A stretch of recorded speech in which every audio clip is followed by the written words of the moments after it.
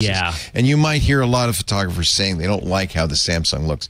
But remember, these camera phones are, are not made for the same audience as a professional photographer. Uh, You wouldn't shoot a wedding with a, a camera phone. Right.